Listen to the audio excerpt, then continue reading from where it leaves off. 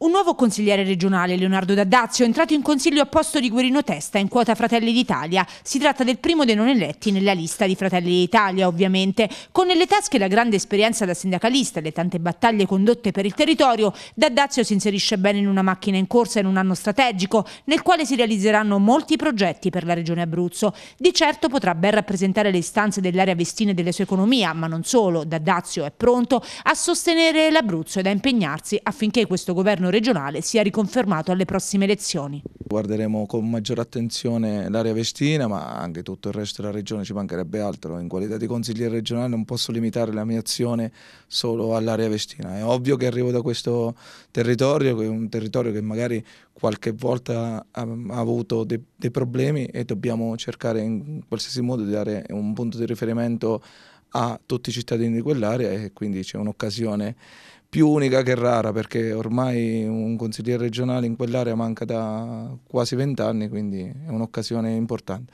Io ce la metterò tutta, massimo impegno, massima disponibilità nei confronti di tutti i cittadini. Entra in una macchina in corsa ma già rodata, sarà un anno di grandi progetti per la regione, insomma è pronto.